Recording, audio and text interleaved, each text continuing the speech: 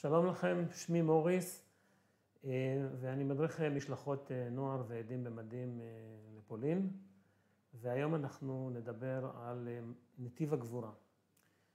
נתיב הגבורה למעשה זה 16 אבני זיכרון אחידות שעשויות מאבן גרנית, שנקבעו לאורך הדרך בין האנדרטה של רפפורט, שהוקמה לרגל יום מרד גטו ורשה ב-19 באפריל 1948, לציון חמש שנים למרד, אז בין האנדרטה הזאת לבין האומשלג פלאץ, כיכר השילוחים, נקבעו 16 אבנים.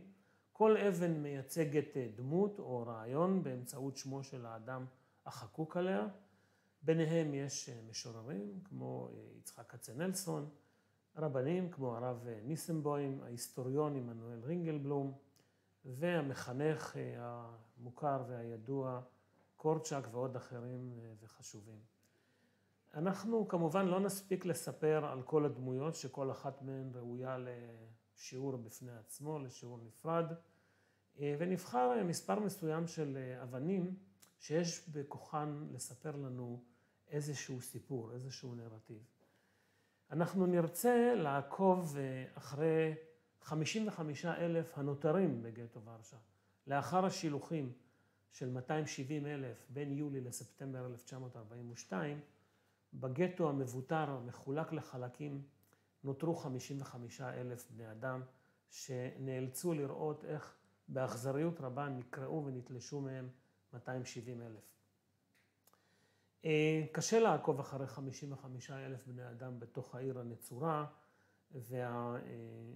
והמספרים הרי מייצגים בני אדם, אז מה שאני מציע שנעשה זה שנעקוב רק אחרי בני גילכם, איך הם פעלו ואיך הם התנהלו והתנהגו בתוך הגטו, ואולי אפילו מעבר לכך, נצמצם את המעקב שלנו אל תנועות הנוער ואל המנהיגים שלהם. יהיה לנו יותר קל לעקוב אחרי מספר קטן ומוכר של אנשים מאשר לעקוב אחרי עשרות אלפים. עם פרוץ המלחמה, כמו מנהיגים רבים אחרים, רבים ממנהיגי תנועות הנוער גם כן ברחו מזרחה, עברו את הגבול והעדיפו להיות בצד הסובייטי ולא בצד הגרמני. אלא מה? שהנוער הזה, חלק ממנו, התחיל לחזור בחזרה לוורשה. הם היו יכולים להמשיך לארץ ישראל ולהגשים את החלום שלהם להגיע לארץ, אבל העדיפו לחזור לוורשה כשהם נשאלו את השאלה הזאת במשפט אייכמן, השורדים שבהם, מדוע עשיתם את זה? מדוע חזרתם בחזרה לוורשה? התשובה שלהם הייתה אחת. חזרנו כדי לדאוג לחניכים שלנו. והייתי רוצה באמת שמנהיגים אצלנו גם במדינה יישבעו גם להיות מנהיגים כאלה שהאחווה והרעות הם נר לרגליהם וחשוב להם מי שהם מנהיגים אותו. אז הנוער הזה מתחיל להתארגן בתוך גטו ורשה וגם בתוך גטאות אחרים, וכל מה שהוא עושה בהתחלת הדרך זה לאסוף את היתומים מהרחובות, לנסות להעניק איזשהו צביון חינוכי, תרבותי, חיים נורמליים ככל האפשר בתוך התנאים של הגטו, ביחד עם בני גילם.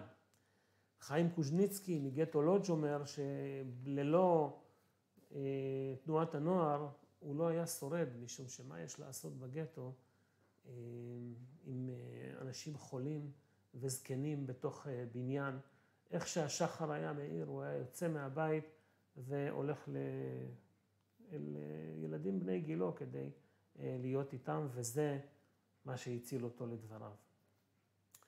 עם תחילת השילוחים, במיוחד לאחר התאבדותו של אדם צ'רניאקוב,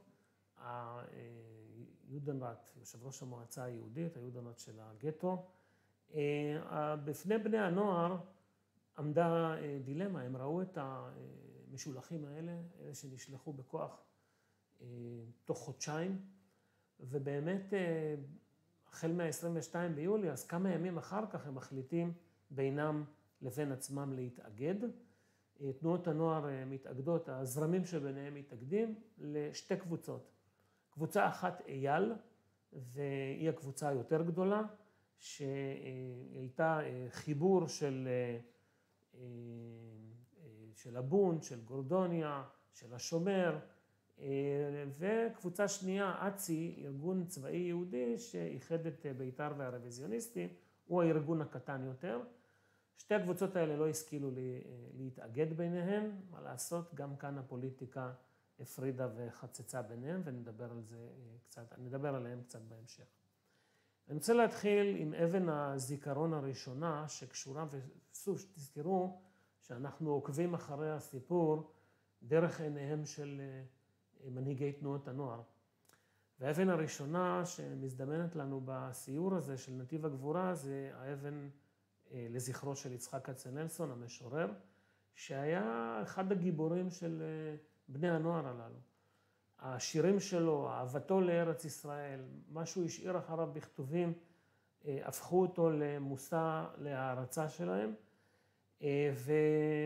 וכמו שהם הקימו ככה חוות הכשרה בתוך הגטו, בתוך בית, חוות הכשרה עירונית, וחינכו את הילדים שהם אספו, את היתומים מהרחובות, אז הם גם הזמינו מורים, וגם את המשורר יצחק כצנלסון ומורים אחרים, כדי לא סתם לשבת ולשיר שירי ארץ ישראל, אלא לקבל איזושהי, איזושהי תרבות, איזושהי תרבות, איזשהו חינוך, איזה שהם ערכים, כפי שהם דגלו בהם. ו... אז, אז זה, זה השלב הראשון שהם מתנהלים, ומיד עם פרוץ, עם, עם השילוחים הגדולים באמת, הם עומדים בפני דילמה, האם אנחנו יכולים לעמוד מנגד ולראות את היהודים נתלשים ונקרעים מתוך הגטו, ומה אנחנו עושים עם הסיפור הזה? האם אנחנו לא רק בתוך בועה, כשאנחנו שרים שירי ארץ ישראל ומביאים מורים ומחנכים ללמד אותנו, האם אנחנו לא צריכים לעשות איזה שהם צעדים משמעותיים יותר, במיוחד לנוכח התאבדות, התאבדותו של אדם צ'רניאקוב, ראש המועצה היהודית, והוואקום הפוליטי שנותר אחרי, ש...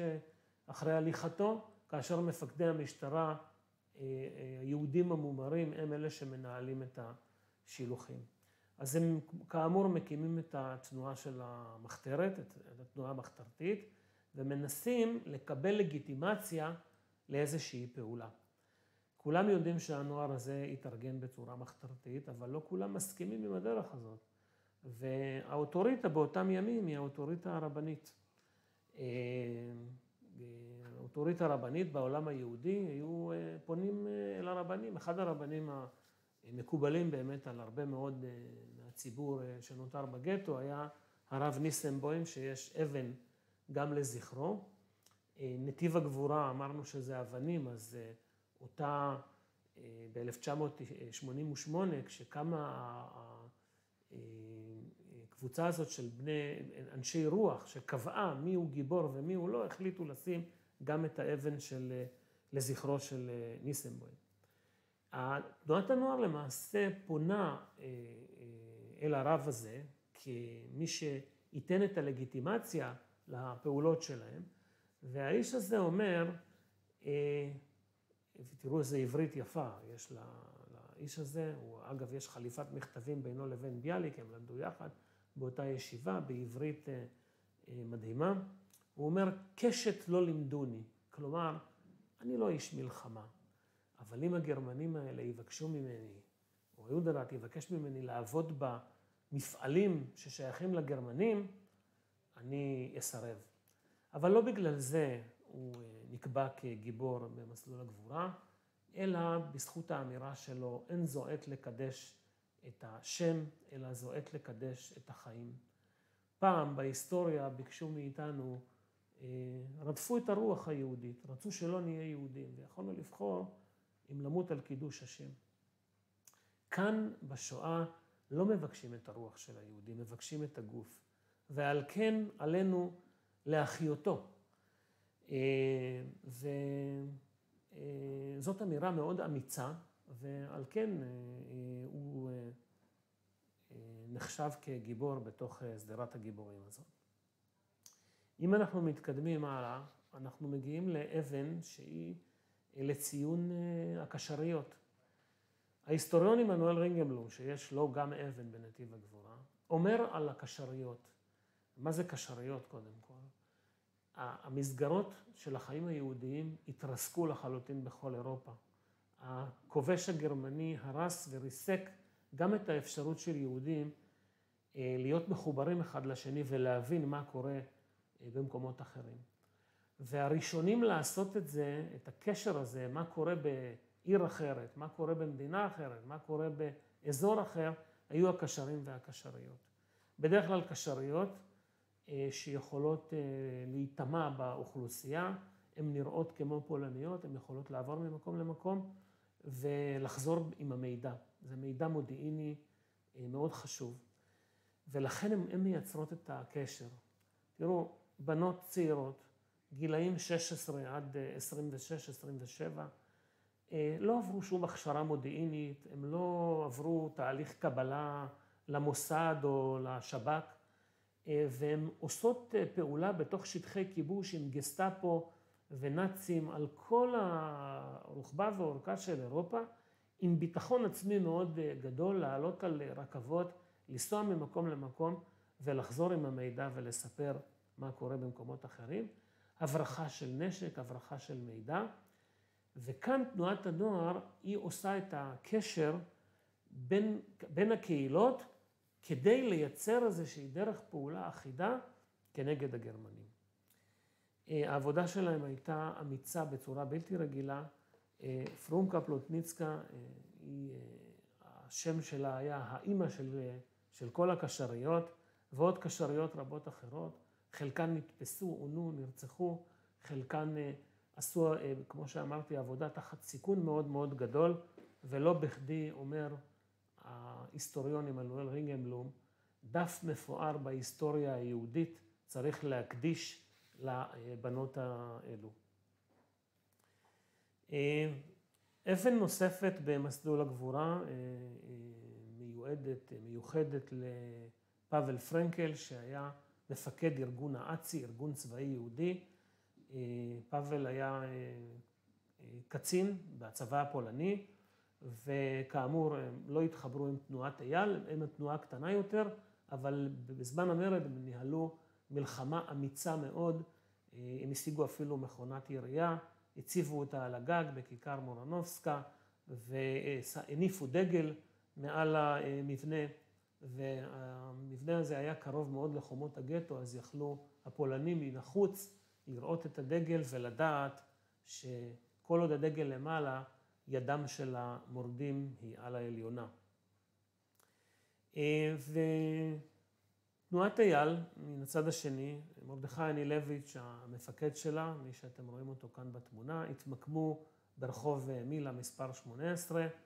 אה, כיום יש את האנדרטה שאתם רואים בתמונה, אה, מוצבת במקום שבו עמד המבנה והבונקר, בונקר של אה, שלוש קומות מתחת לפני הקרקע, ושם הם החליטו להתנגד לגרמנים. מה זה, מה זה אומר להתנגד לגרמנים? מה זה אומר מרד? הרי זה לא שהם קבעו איזה תאריך ושעה מסוימת מתי אנחנו מתנפלים על הגרמנים, כי לא היו להם אשליות שהם יכולים לנצח את גרמניה הנאצית. אבל מה שהם סיכמו בינם לבין עצמם, שבפעם הבאה שהגרמנים נכנסים לגטו על מנת אה, לעשות אקציה אכזרית ולגרש יהודים מתוך הגטו, הם יתנגדו. הם לא אה, ילכו מרצונם לכיוון אה, כיכר השילוחים, לאומשלג פלאץ, אלא הם יפתחו באש ויתנגדו לשילוחים האלה. אה, וזאת אומרת שאת העיתוי לפרוץ המרד, מי שקובע זה הגרמנים ולא אה, תנועת הנוער.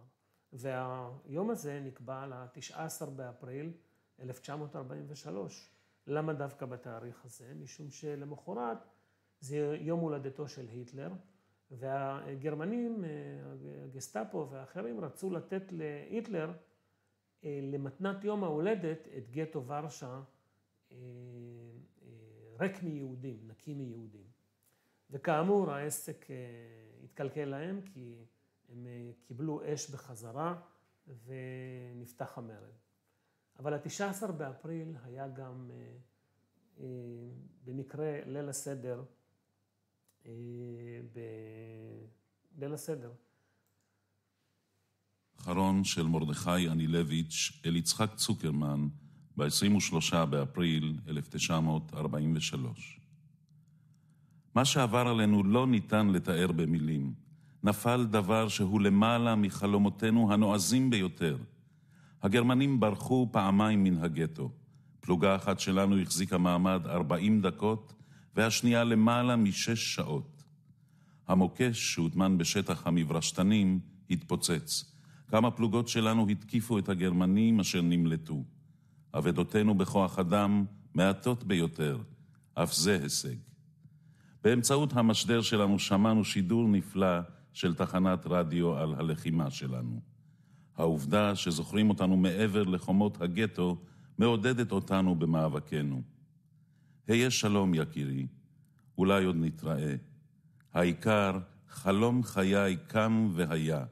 זכיתי לראות הגנה יהודית בגטו בכל גדולתה ותפארתה.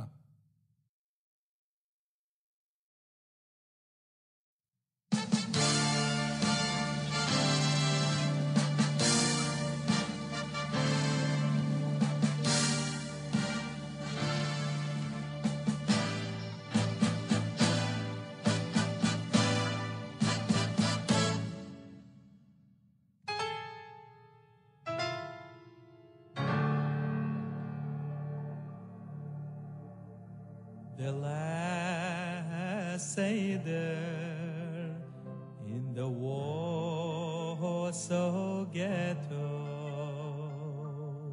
There was one Moshele, the last Moshele in the Warsaw ghetto, asking his father,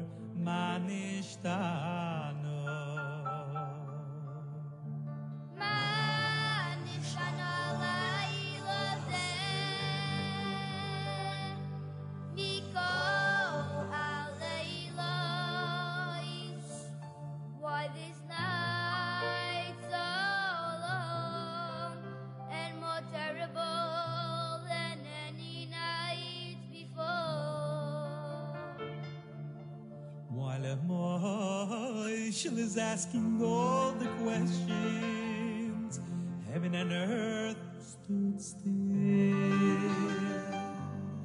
The angels were afraid to make noise, and his father, his father, wants to answer Avodim Oyinu.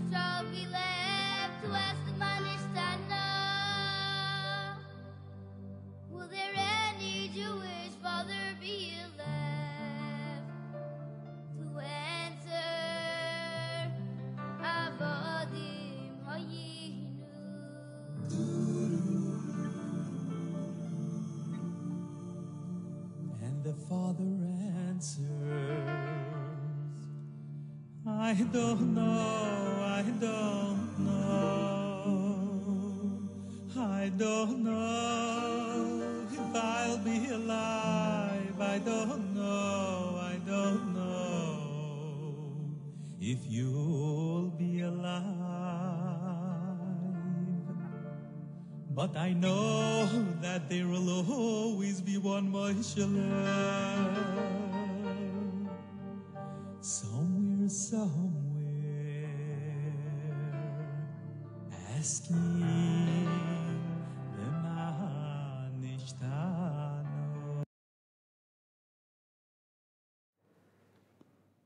ובכן, אה, המרד אה, בגטו ורשה אה, נמשך כחודש ימים, ובסופו מצאו את מותם מרדכי אנילביץ' והלוחמים האחרים בבונקר, למעט קבוצה קטנה שהצליחה למלט את עצמה דרך אה, מערכת הביוב אה, אל מחוץ לגטו, חלקם שרדו כדי לספר ולהעיד על המתחולל אה, בתוך הגטו בזמן המרד.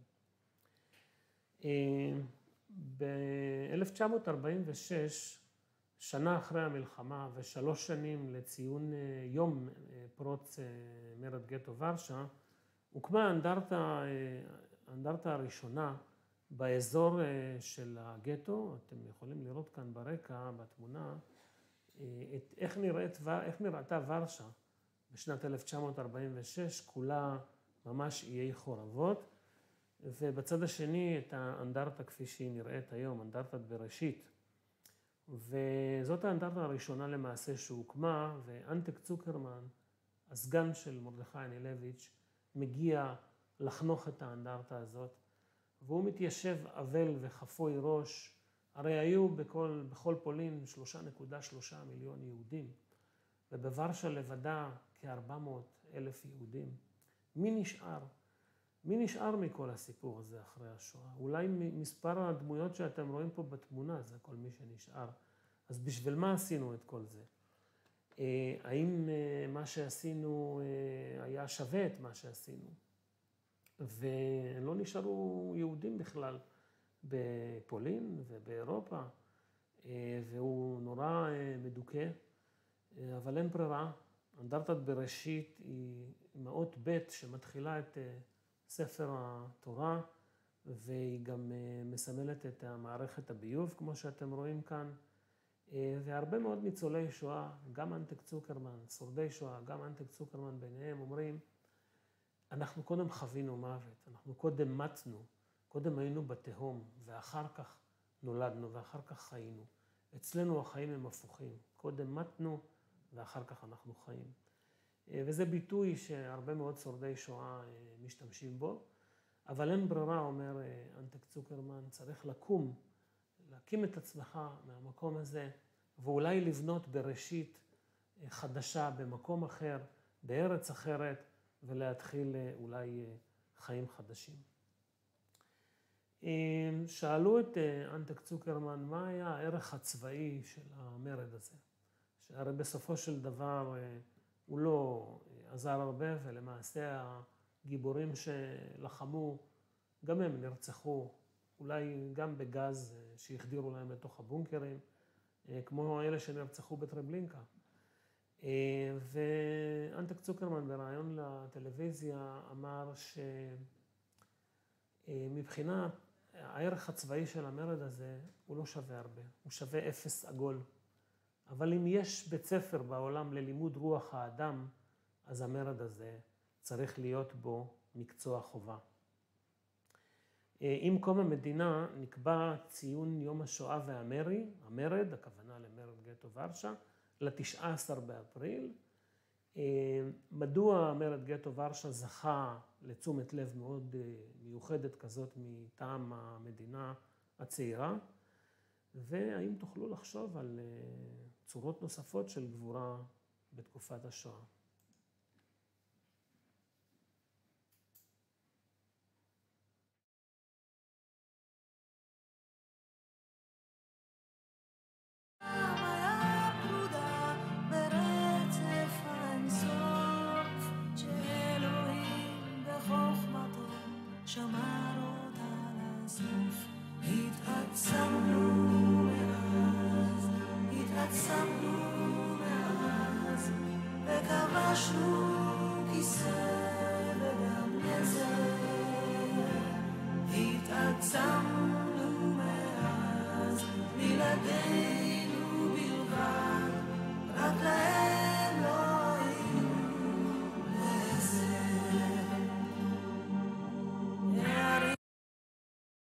תודה רבה לכם שהייתם איתנו.